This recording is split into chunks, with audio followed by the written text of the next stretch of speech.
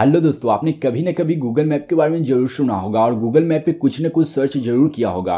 For example आपने Taj Mahal search किया तो ताजमहल का जो एड्रेस होता है कभी ना कभी किसी ने ऐड वहाँ पे किया होता है, यानी कि किसी बंदे ने वहाँ पे उस एड्रेस को ऐड किया हुआ है। तो उस तरह के एड्रेस आप कैसे ऐड कर सकते हो? फॉर एग्जांपल आपका कोई बिज़नेस है, कोई स्टोर है, या फिर स्कूल्स है, या फिर कॉलेजेस वगैरह है, या फिर हॉस्पिटल है, या फिर एटीएम का कोई स्विप मशीन है, या फिर बैंक वगैरह या फिर जिम वगैरह तो उस तरह के एड्रेस को हम कैसे गूगल मैप पे डालते हैं, आज के इस वीडियो में देखेंगे। और नॉर्मली बहुत सारे वीडियो में आपने देखा होगा कि किस तरह से ऐड करना है गूगल मैप पे अपना एड्रेस या फिर अपने घर का एड्रेस बट आज मैं आपको काफ़ी सिंपल वे बताने वाला हूँ, यानी कि बहुत ही आसान प्रोसेस बताऊँगा और उस प्रोसेस से आप बहुत ही आसानी से आप अपने घर का एड्रेस या फिर किसी तरह के एड्रेस को गूगल मैप पे ऐड कर सकते हो और वो भी बहुत ही आसानी से। तो चलिए इस वीडियो में हम आगे बढ़ते हैं और देखते हैं आज का ए वीडियो इस वीडियो में हम आगे बढ़े उससे पहले अगर आपने चैनल को सब्सक्राइब नहीं किया है तो चैनल को सब्सक्राइब कर लीजिए, ताकि आप देख पाओ वीडियो सबसे पहले।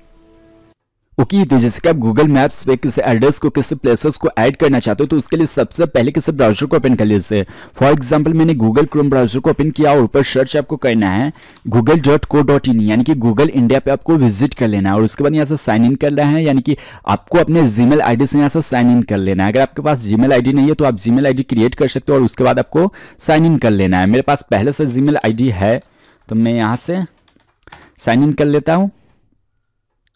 ओके और उसके बाद यहाँ पे आपको क्लिक करना है और यहाँ से मैप्स को चूज़ कर लेना है। जब मैप्स पे चूज़ करते हो तो यहाँ पे देख सकते हो गूगल मैप्स यानी कि सर्च गूगल मैप्स यहाँ पे गूगल मैप्स पे आपको सर्च कर लेना है। गूगल मैप्स डायरेक्ट से ओपन होकर चला आता है और यहाँ पे सर्च करना है यानी कि जो भी एड्रेस को आपको सर्च करना है, यहाँ पे आप एड्रेस को सर्च कर सकते हो।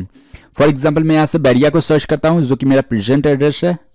ये रहा बैरिया और ये रहा बैरिया गोलम्बर और बैरिया गोलंबर पे मैं एड्रेस को ऐड करना चाहता हूँ। आप चाहो तो यहाँ से सैटेलाइट व्यू भी चूज़ कर सकते हो।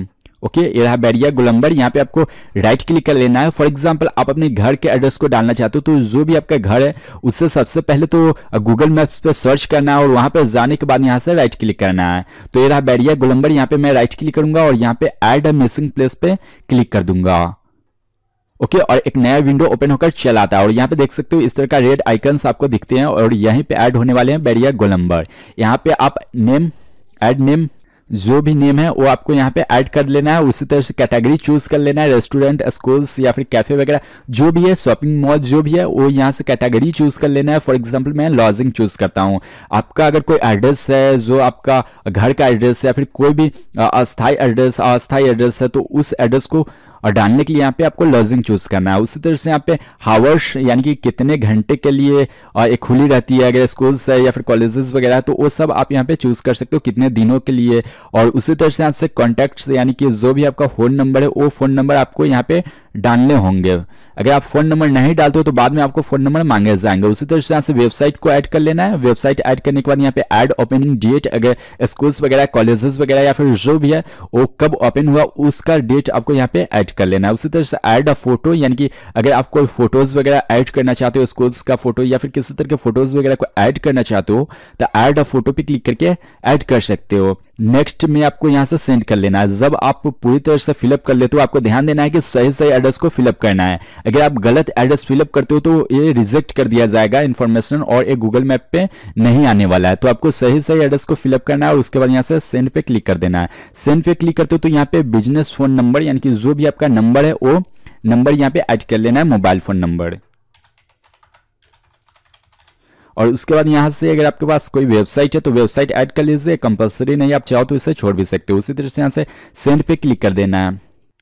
ओके okay, तो फाइनली यहाँ पे देख सकते हो thanks for improving Google Maps और जो एड्रेस है यहाँ पे ऐड हो चुका है। यानी कि ऐड फ़िलहाल तो नहीं हुआ है बट इसमें लगभग एक से दो दिन या फिर एक सप्ताह, दो सप्ताह तक लग जाते हैं।